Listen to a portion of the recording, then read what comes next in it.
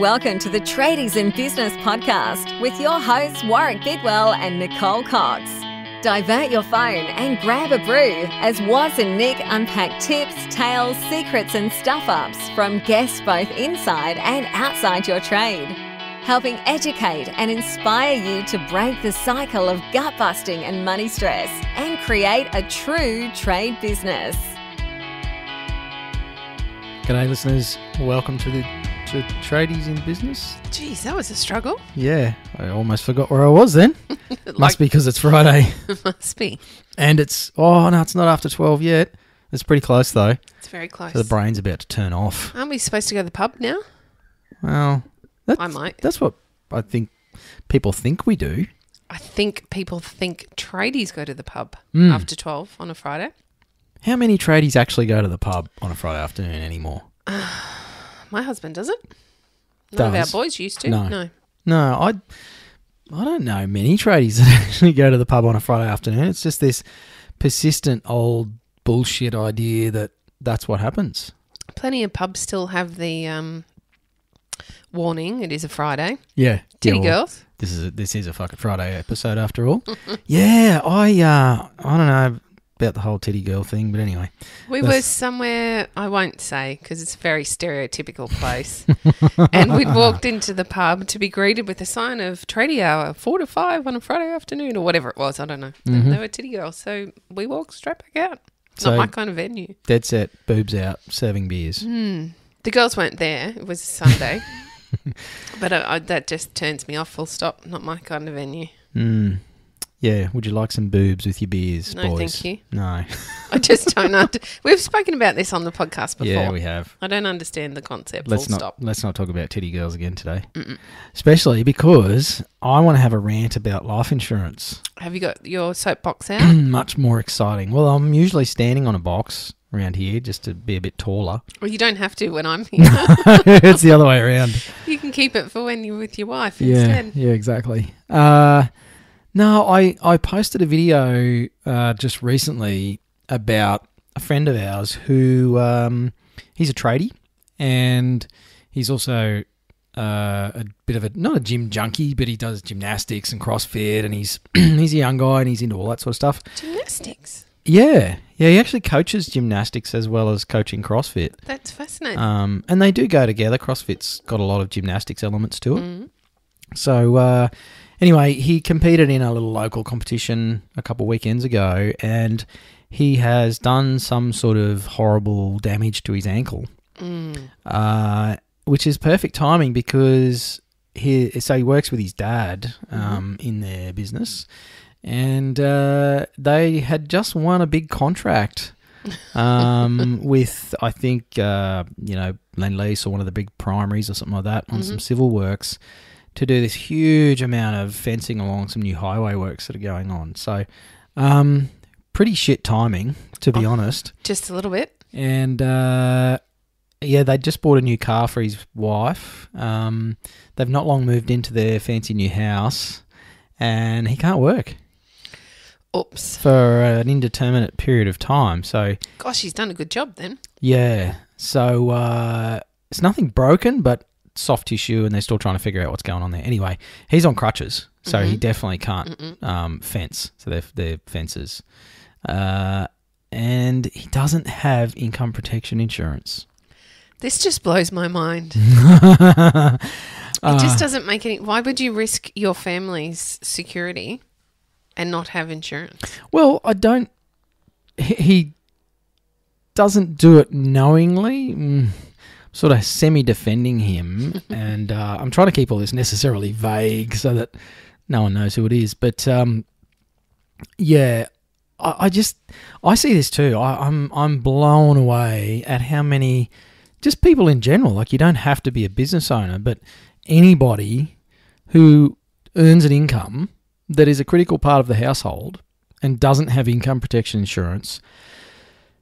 I think you need a good slap around the head Mm. uh, because I hope you and the builder have got Yes, we do. as I'm about do. to hook in. but if you're listening to this and you're like, what's income protection insurance? Then uh, I'm pretty sure we've chatted to some people on the show before about this sort of stuff. But it, it really, honestly, it shits me. Mm. Um, and particularly men. I'm I'm gonna point the finger at at the men listening to this.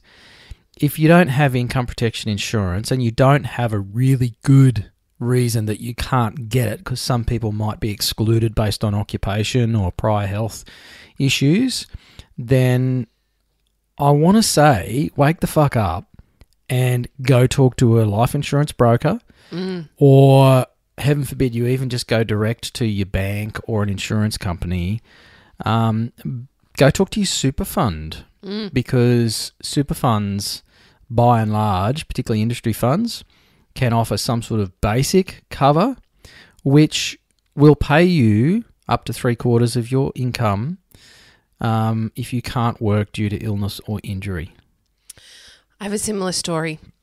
Our real estate agent um, that we work with quite frequently did something to her back over the Christmas period and had, I think, almost four months off work with no income. oh jeez And you and she's a single mum. Uh, had just ordered a brand new car. Well, had not long moved into a new house. Um, had previously been a high income earner. Fortunately, had income protection insurance because she was bedridden for almost four months, and there was no. She ha- was already out of the bracket to qualify for any kind of um, government assistance, Yep. i.e., Centrelink. Yep. But she was really lucky. Also lucky that she'd had a good six months before that, so her income that level that came in was quite fine and very adequate for what she needed to do. But she was able to rest and recover, get the support that she needed in the house because she had the income protection insurance. yep She was one of the lucky ones. No, one of the smart ones. Yeah. Uh, it's just, it's mind blowing that, excuse me, uh, tradies have tool insurance, Mhm. most of them. Um, they insure their vehicles Mhm. and their house, no doubt, and not insure their income, which is the one thing that keeps everything rolling along. I think uh, time and time again I hear the excuse I can't afford it. Yeah, it's too expensive. That's like, well, you try not having an income for three months while your broken leg heals. Absolutely. And this stuff happens so easily. It's a flippant accident. Oh my gosh! And That can be life changing. and tradies are exposed to it either on the work Yeah, site. good point. You know, you you smash your ankle when you tread on something Mhm. and roll it the wrong way, or you slice your arm open on a sheet of tin or something, Mhm. and you know cut a tendon and you can't hold the hammer Mm. for a couple months. Um, or you're riding your dirt bike on the weekend with your mates, uh, as I've done a couple of times, and you snap your ankle, Mm. And that's it. Mm. Like you're off your feet for three months Mm. on crutches. That that can be catastrophic to a lot of tradies because you know they're sadly living hand to mouth or the business is so finely tuned as far as cash flow and everything goes that if your production drops off because you can't work for 6 or 8 or 12 weeks that can be enough to kill a lot of trade businesses sadly Absolutely. but that's the reality of it. All for the sake of, you know, maybe a thousand or two thousand, three thousand dollars a year in what are generally tax deductible Mm. insurance premiums. You can't claim a tax deduction for any other insurance, Mm. but you can for income protection. Uh, and you get three quarters of your income paid, provided obviously you've got to satisfy your claim. And someone posted a horror story on our Facebook page, and and I did reply back and say, you know, I'm sure there's horror stories about every industry. You know, car insurance, about you know plumbers, about accountants, about uh, you know brain surgeons, and no doubt someone's had a razor blade in their food from Woolies once. But we don't all stop buying fucking groceries. No. So, you know, there's there's good policies and bad, but you know, for for like a few grand a year to ensure your income, in the likely event that as a male tradie you're going to do something stupid and hurt No. yourself. They wouldn't. Uh, so if you're listening to this and you go, ah, that's not going to happen to me, just stop for a second. Do you know anyone who's ever injured themselves and couldn't work for more than four to six weeks? Just stop and think about that. Was it dirt biking, fishing? Did they fall off a roof? Did they just get crook? Mm. Maybe they ended up in hospital with, I don't know, meningococcal or pneumonia or who knows what. Do, do you know anyone that's ever had that happen to them? There's I a reckon there'd be a lot of people off. who know someone, right? Well, that someone could be you. Mm. Um, I've personally claimed on my income protection twice in the last 10 years because, you know, dirt bikes and stuff. Two broken legs. And I don't even work on the tools, Mm. but I was able to get paid an, an specific injury benefit. I didn't even have to serve a waiting period or anything. So, you know, it's it's one of those things where I think if you don't at least go have a look at it and investigate it, then you're really putting your family at risk and you're being irresponsible. Um, and sticking your head in your sand is, in the sand is a really shit way to deal with it. Um, because you know, like like our friend, they'll get through. He'll find a way to get through. You know, he's he's increased his hours coaching at the gym and stuff. But I can tell you that money's nowhere near what he was making as a tradie. Um, his wife's under a bit of pressure now, and you know they're going to have to look at ways to cut back and try and get through the next few months of essentially halving their household income. Mm. And I guess that's the other question that, that we need to ask ourselves. It's like, okay, so I'm not going to have income protection because I think it's too expensive or it's stupid or I don't need it. It's never going to happen to me. But just think about how long could you survive on one income or if you're the sole breadwinner in the Mm. house, What are you going to do? how long could you survive without an income? How I just I don't know. I get a little bit frustrated. I can't even talk. I get so frustrated. It's that's the sums you have to do, I suppose. You have to sit down and have a look at the risk that you carry, and we all carry a bunch of risk just by driving or walking around the corner to pick something up. You could bend down in the shower like I did just several weeks ago and put your back out, and not be able to work for weeks. Mm-hmm. How are you going to afford to pay the mortgage? How are you going to make the repayments on the ute? How are you going to pay for the kids' school fees or childcare fees? How are you going to put food on the table? If you don't have insurance, but you have a, a large amount of savings, maybe you think that's okay. Do you really want to spend your savings on that? Mm. Isn't insurance still a better option? That's what I was thinking when you shared the story of the, your real estate agent. It's like, yeah, she got by because she'd had a good prior six months or something. Correct? But imagine if she'd also had income protection and still got paid three That quarters was- of her income. No, she had the income protection. That's how she got Ah, paid. Yeah. Gotcha, gotcha, gotcha. But because So, she had a good six months prior, she got really good money for that. Yeah, yeah, yeah. yeah. But you're absolutely right. Do you want to take your savings away or do you want to Mm. use the insurance that you can be paying for that isn't a big expense and, like you say, is tax deductible? Mm. I, it just, I really I just get frustrated There's- and can't find words. There's there's pretty much no excuse for not There isn't. even just having a basic policy in place. Like you don't have to have the the ducks, guts, bells, and whistles. Even if it just pays you for two years, mm. um, because there's different rules with different policies, and you know they have different costs. And one of the objections is, oh, but you know, had to wait sixty. I knew a guy, and he had to wait two months, which is sixty day wait, Mm, to get his money. And it's like, well, that was his choice when he took out the policy. He could have had a thirty day wait. that's right. You could even have a 14 day wait if you Mhm. want to pay the extra premiums. So I guess this is another tangent in the same conversation. We recently we thought we were well protected. We had some pretty standard cover. We just went with some big guys. Mm-hmm. I think we'd maybe the first time around we did it through the bank when we did our mortgage because it was Mm. required as a, as a self-employed person. Yep. We then went on, did some research and did our own, had pretty standard policy. Then we went, we had an opportunity to sit down and have a chat with a broker and found out we weren't really covered for anything. No. And we had a long, long wait. And uh, it wasn't going to pay for a long period of time if we had a significant injury, like all the big red flags that we should have seen, but even we didn't see. Mm-hmm.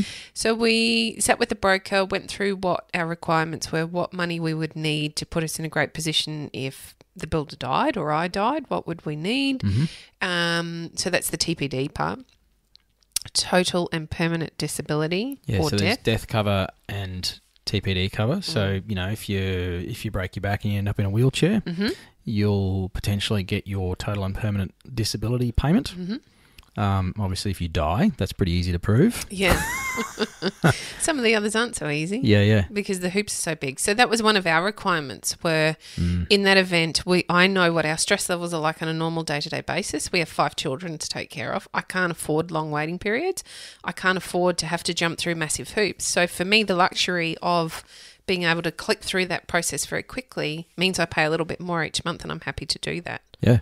But sitting with the broker, we managed to understand what we weren't getting, what we needed to get, how to get it in place, and we got it in place. Hmm. So now we're well, well, well insured. I don't need to worry if something happens to one of us, other than obviously the emotional and physical side effects. Yeah. But on a stress level, I don't need to be stressed about money.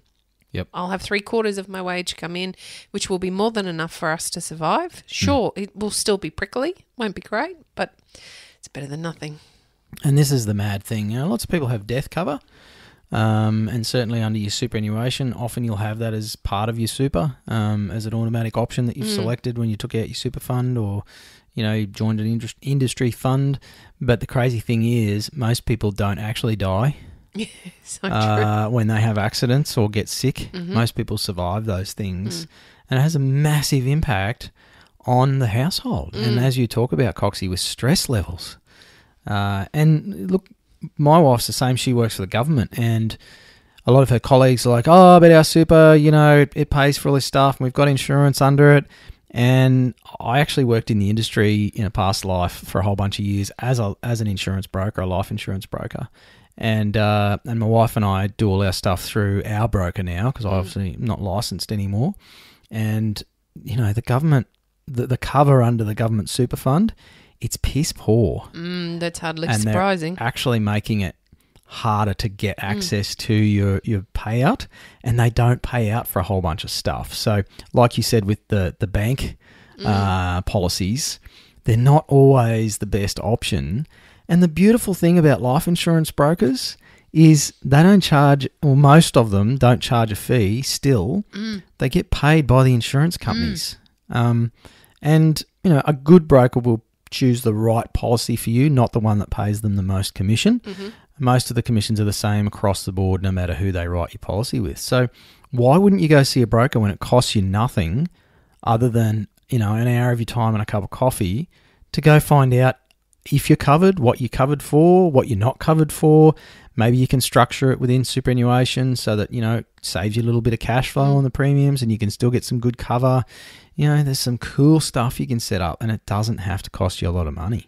So on that, on the money, on that exact topic, when we went from the bank cover to the extensive cover, there was a significant difference between the two costs. And Yep. my initial thought was, "Holy moly, that's expensive! Am I being told the truth here, or is am I being pushed up the creek with no paddle?" Yeah. Until I sat down, so I needed proof, being me, and sat down and read some of these bits Mm-hmm. and pieces of the policy and learnt that, that the broker was in fact right. What we had didn't cover anything. What Mm. we were going to have covered absolutely everything, plus all the conveniences that I required. Yeah. And then we structured it so that most of it, I can't remember which parts you can probably fill those blanks in, but most of it comes out of our super anyway. Hmm. So I'm not out of pocket hugely on a month to month basis, but I know I'm really well covered. Yeah. And for self employed people, uh, you can generally split it between your super and personally paid. Um, just because there's some tricky stuff with superannuation rules of whether you can access the money. You know, if you do end up in a wheelchair, you don't always satisfy the definition of being able to access your super. So, you know, there's some there's some things that you need to be aware of, and that again, that is why it's important you find yourself a really good broker, someone you trust, someone who's got good experience that you can communicate well with, and then they can run you through all that sort of stuff and give you advice about what's the best way to set it all up because it's different for everybody. Um, it is different. and neither Coxie nor I are financial advisors or life insurance brokers. So take everything we say with a grain of salt and then go find a good broker. Yeah, don't ask us because we're not going to help you, but go and find a good broker. And don't don't go to your bank No, because the yeah. bank's going to sell you whose policy? Theirs. so if you want good advice, go talk to someone who's not affiliated with a bank. Yes. Uh, Dig yourself through. I always say when I'm asked, because this is obviously a question we're asked often, and obviously we have some local contacts for ourselves that we use with our hmm. clients, hmm. but on a broader scale, I'm often messaged to us, what do I do? Where do I find them? How do I find them? Mm-hmm. And I nearly always say to push through to the second page of Google. Mm. Because those on the first page don't always have your best interest. And this is a blanket statement, mm-hmm. please. I'm being probably a little bit controversial as usual. Mm-hmm. But the point of it is some of those smaller brokers or some of those smaller agencies are more likely to be aligned with your own personal beliefs and values, which is really important when we're talking about insurance and what happens if something happens to one of you. Totally. and balancing the cover with the premiums that you pay. Yes. It's no different to your car. Mm. You'd love to have an agreed value policy for what it costs to go buy a brand new one Mm. so that if they write it off or some bugger steals it, you just get a brand new Ranger. Yeah. But the premiums for that are often horrendous. That's so right. most of us go with a market value policy and we go for a bigger excess Mm. so that if we do have to make a claim, yeah, we're going to be out of pocket an extra few hundred bucks, but it pulls our premiums down by Mm. 50 bucks a month. All the same stuff applies Mm. with life insurances. You have all those same options and decisions to make so that you get a good balance between being covered to the wazoo for 2 million bucks if you fall off your perch and you know you're going to be checking your cup of tea every morning to make sure the wife's not poisoning you to claim on the big policy Look out, builder. and uh, and shelling out thousands of dollars a year for something that you hope you never claim on. Mm. Um, it's just about striking that balance. But yeah, I my personal belief is if you don't have income protection and you don't have a good reason, then you need to take a good hard look at yourself in the mirror and ask yourself, do you really give a shit about your family Mm. and yourself? Tough but fair. Or just stay home, get some cotton wool, wrap it tightly around yourself, gaffer tape it on, and just lay on the lounge room floor because then nothing. Actually, no, because you'll die of diabetes and Or th- sarcopenia or something. something horrible. Like we just Boredom. is that not the point? We are constantly faced with risk. There is no Yeah. risk-free activity. Totally. You've got to then measure and balance and find the right alternative for you. Hmm. And some of that, one of the things that you just mentioned, you know, being insured for $2 million sounds fantastic, is expensive. What exactly do you need to be insured for? Yeah. That's one of the conversations you need to be having with your broker. Yep. Because my assumption of what we needed to be insured for was far more than what we actually needed to be insured for. Mm-hmm. So when we pulled out all the bank statements and had a good look at what it is that we needed to cover if something happened to one of us, we Mm. didn't need what I thought. Yep, absolutely. So there you go. That's it. Wasn't really a rant. Actually, it was No, more. it's very I- pleasant. I'm I'm pleading pleading with you as a listener to this podcast. If you earn an income and you have any level of responsibility to anybody other than yourself, uh, so unless you're a hermit, then for fuck's sake, go and sort out some income protection, even if it's a basic policy. Um, if you don't know where to find a good broker that can help you with that, ask your accountant. They often have a relationship with financial planners. Um, you could ask your bookkeeper. Uh, you know, as a last resort, you could go to Google or something, but ask some of the other tradies in your network. Ask some of the, the successful business owners that you might be connected to, or some of the primary contractors, or whoever it is, and just get a personal recommendation from someone Yes, good advice. um, because they'll be able to give you a name for sure. And if you're still stumped, get onto Coxie and I here at Tradies in Business. Mhm. Um, it, probably a good place you could ask is um, jump into the free group on Facebook, Tradies in Business. Uh, join that group, and you'll be able to get um, access to about 1,100 tradies Mhm. in there. Um, so if you post a question, I think I guarantee this will get more opinions than I've had steak dinners. yes. Uh, hey, what do you what do you guys do for income protection? Um, you'll get all sorts of opinions, but I'm pretty sure you'll also get a few recommendations in there for brokers as well in your area. So, um, really, there's no excuse. None whatsoever. Don't be a wanker. Go get some insurance. Oh, that was harsh. okay, you've moved past tough but fair into harsh. anyway, there's there's a fuck it Friday for with a difference. Hmm. Um, it was a bit preachy. Yeah, it is a bit preachy, but you know what? I just hate seeing people screw up their life because of uh, an ill informed decision and inaction around something as simple as getting some cover for your income um, so that you take care of your family when you bust your leg multiple times. And that's the space we're talking from, right? It's how many times have we observed this happening, even to oh, clients? it's crazy. Yeah, It's crazy. We should we should get like a life insurance brokerage. that'd be an interesting conversation, wouldn't it? Well, the number of people that we've seen screw this Well, up. that's true. Anyway, uh, that's it from us. As I say, go join the group. Go to that thing called Facebook. Um, they just paid a seven billion dollar fine. We are talking about this this morning. That's really not a lot of money to Facebook. That's pocket change for Mm. those guys. But go there anyway. Um, we love to hate Facebook, and we hate to love them. So go to Facebook groups, find tradies in business, join up if you haven't already, and um, go ask the question in there. And you can also ask other questions like, you know, what's their favourite hammer drill or Um, We don't get a lot of tool questions. which boots do they wear? We don't or- get a lot of boot questions. It's all businessy questions. They're very businessy. Could have something to do with our name. Maybe the tone. Tradies in business? don't know. Just a thought. Maybe. Maybe. Otherwise, have a fucking awesome Friday. Enjoy. Hooroo. Bye. You've been listening to the Tradies in Business podcast with Warwick Bidwell and Nicole Cox. Find out more about today's guest, tools for your trade business, and other cool stuff at tradiesinbusiness.com.au.